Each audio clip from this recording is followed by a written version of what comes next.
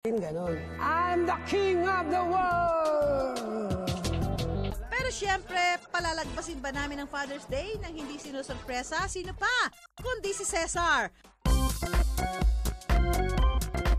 Marahil ang hindi alam ng marami, isang mabait at responsabling ama si Cesar. Kaya nararapat lang na maghanda kami ng sorpresa para sa kanya. Namin doon, kasi yung bahay namin, para siyang pinagtagpi-tagpi lang ng mga lawanet na, kasi Kasi parang hindi sa nakikita amin, mo ngayon doon sa mga informal settlers. wala kaming pintuan. Aba, pwede ba walang pintuan? Wala kaming pintuan, isang compound. Kasi hindi naman, hindi ganun kaganda yung buhay namin noon. Ang trabaho ng.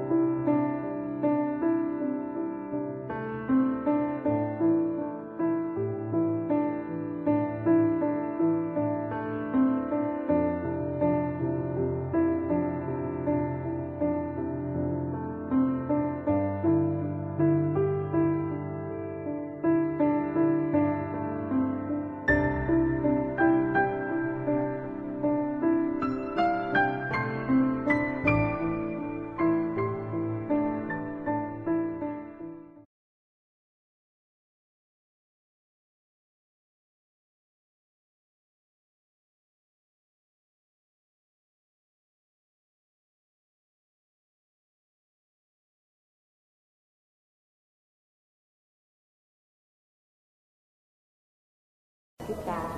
So thank you. Thank you for your support. Thank you for being a good provider to our family. And thank you for being a very lovely husband to me and a father to me, our kids. I love you.